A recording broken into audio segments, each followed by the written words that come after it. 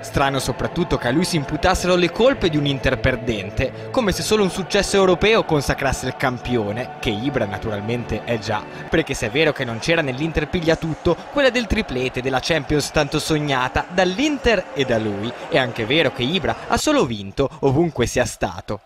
Ibrahimovic, se tu fossi andato al Milan, adesso il Milan sarebbe a meno 22 o sarebbe un po' più in alto in classifica?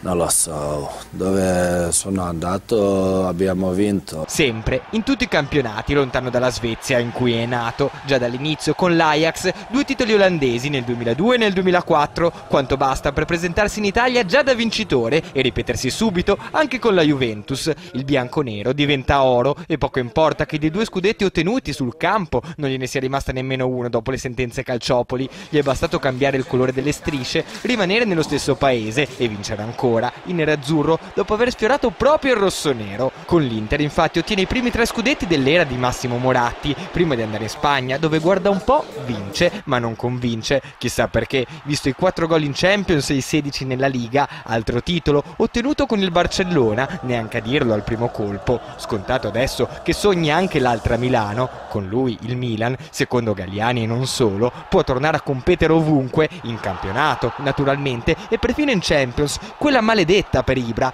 quella che ha inseguito ovunque a costo di fuggire con mal di pancia in posti lontani, proprio quella Champions che dalle parti di Milanello invece piace tanto, dove la musichetta in passato ha plasmato squadre d'eroi, eroi vincenti alla Ibra e verrebbe quasi da dire pazienza per la Champions se mai Ibra regalasse ancora un nuovo scudetto. Chissà, chissà se si accontenterebbero adesso. Per Sky Sport 24, Riccardo Re.